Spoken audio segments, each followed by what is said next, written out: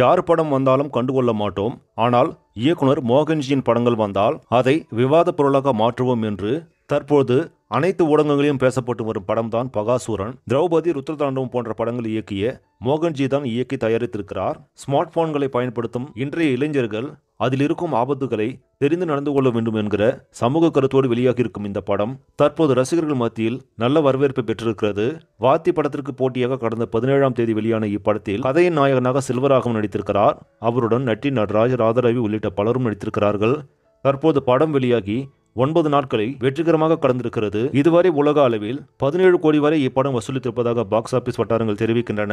பகாசுரன் படத்தை தமிழகத்தில் வாங்கி வெளியிட்ட தயாரிப்பாளர் கௌதம் அவர்கள் படத்தின் வெற்றியை இயக்குனர் மோகன்ஜியுடன் கேக் வெட்டி கொண்டாடியிருக்கிறார். அது மட்டுமல்லாமல் இயக்குனர் மோகன்ஜிக்கு ஐந்து லட்சம் மதிப்புள்ள கை கடிகாரத்தையும் தங்க மோதிரத்தையும் பரிசாக கொடுத்திருக்கிறார். இந்த நிகழ்வில் நடிகர் ரிஷி ரிச்சர்ட் உள்ளிட்ட படக்குழுவினர்கள் கலந்து கொண்டார்கள். இதன் மூலம் பகாசுரன் படம் மிகப்பெரிய அளவில் வெற்றி பெற்றுள்ளது நிரூபணமாகி இருக்கிறது. சரி நம்பளே இந்த செய்தி உங்களுக்கு பிடிச்சிருந்தால் லைக் பண்ணுங்கள் ஷேர் பண்ணுங்கள் மறக்காமல் நியூஸ் தமிழ் சேனலை சப்ஸ்கிரைப் பண்ணுங்கள் அடுத்த வீடியோவில் சந்திக்கலாம். நன்றி.